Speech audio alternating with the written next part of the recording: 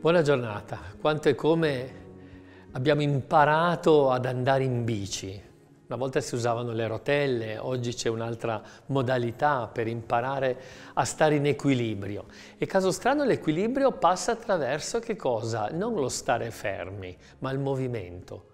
Io per stare in equilibrio devo essere in movimento.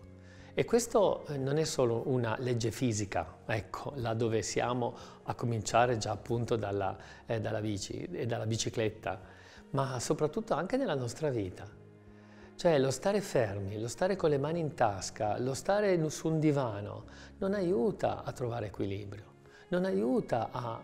Certo che è importante avere momenti di pausa, di riflessione, ma quanto e come quei momenti lì non sono momenti vuoti, anzi sono di una fecondità che altro che movimento, altro che eh, esperienza.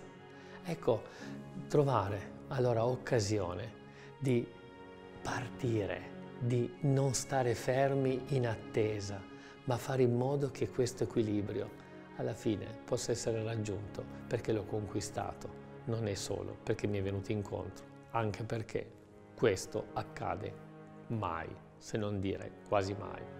Il Signore ti illumini e ti benedica. Buona giornata.